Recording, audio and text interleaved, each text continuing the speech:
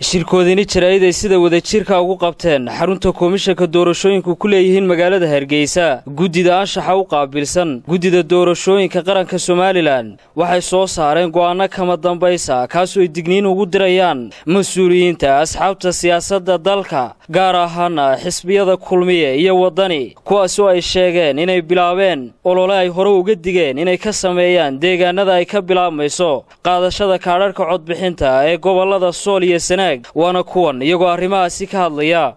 Oo bishu ay tahay sagaalkii bishii augost labadii kun iyo toddobiyo tobankii waxa ay guddiga anshaxu doonayaan inay sameeyaan war-saxaafadeed ku saabsan kaambeynka soo ifbaxaya inuu ka bilaabmayo gobollada somalilan qaarkood. Waxaa hore u jirta in guddiga anshaxu bishii julaay ee sanadkan ay sameeyeen war-saxaafadeed ka horreeya kan kaasooy kula digniin ugu dirayeen xisbiyada qaranku inay joojiyaan kaambeynka aan wakhtigiisa la gaadhin maadaama lagu guda jiro wakhtigii kaar qaadashada. Taa waxaa ka dambe soo gudbay iminka waxaa lagu jiraa labadii gobol ee u dambeeyey ee kaar qaybintu ka bilaabmaysa ee sool iyo sanaag waxaa muuqata oo soo ifbaxaya in kaambeynkii mid ka darani uu bilaabmay iyadoo xisbiyadu ay ka bilaabmeen gaar ahaan xisbiyada waddani iyo kulmiya. Labadaa weeye labada aanu xoogga saarayna. Sababta iyaga ayaa ugu kaambeyn iyo wacdaro waalan. Waxay ka bilaabeen allay baday waddani wuxuu ka bilaabay allay baday. Wuxuu ku gaadhsiiyey sool oo uu iminka joogo.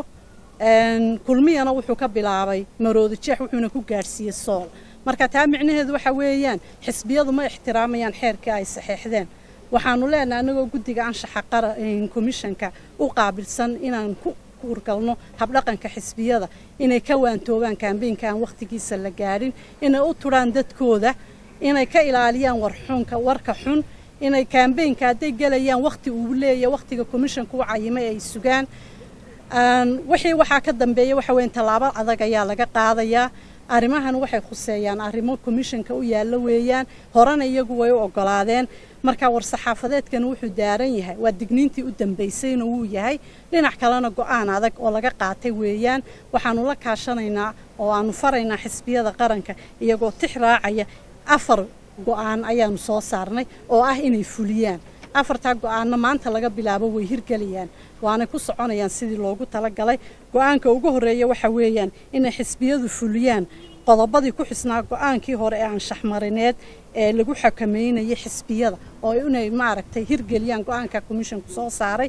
In la xakameeyo gawaadhida ay wataan xisbiyadu si waafaqsan go'aankii anshaxmarineed go'aanka anshaxmarineeda komishanku soo saaray waxay ahayd xisbiyadu inaanay shan gaadhi ka badan aanay la tegin degaamada ay tegayaan. Taana waa in la dhaqangeliya sida ugu suurtagalsanna in imika laga bilaabo ay u dhaqangeliyaan. In la hor istaago ololaha sharciga baalmarsan ay wadaan xisbiyadu iyadoo lala kaashanaya ciidamada amniga. Ayaa lala kaashanaya looma baahna calamo meel la suro looma baahna dad qabiil iyo waxyaalo lagu ururiyo looma baahna kaambeyn qaawan. Waa kaadh qaadasho kaadh qaadashadaa ku koobnaato.